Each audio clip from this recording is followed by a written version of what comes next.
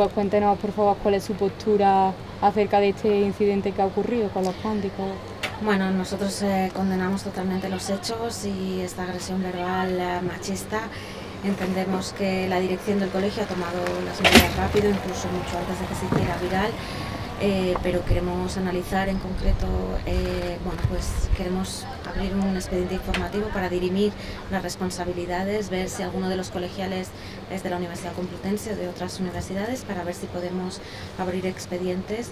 Y lo primero que tenemos que hacer es tipificar eh, bien a través de una investigación los hechos y, y una vez que estén tipificados los hechos, eh, en el marco de la ley de convivencia universitaria podríamos establecer las sanciones que podrían ir desde eh, la expulsión temporal a la, a la, a expulsión durante tres años, pero sobre todo lo que estamos preocupados es que este es un hecho que que viene a romper una tradición de reducción, ¿no? de, de, la mejora de la convivencia que habíamos logrado entre los colegios mayores y también eh, de una bueno, pues disminución de la conflictividad. ¿no? Y, nos preocupa mucho y esperamos que, que, pueda ser un punto de inflexión eh, y un, que lleve a una reflexión eh, sobre cuáles son las relaciones intercolegiales, cuáles son los límites y desde luego no, es, no se pueden permitir agresiones verbales machistas en la universidad eh, de ningún tipo.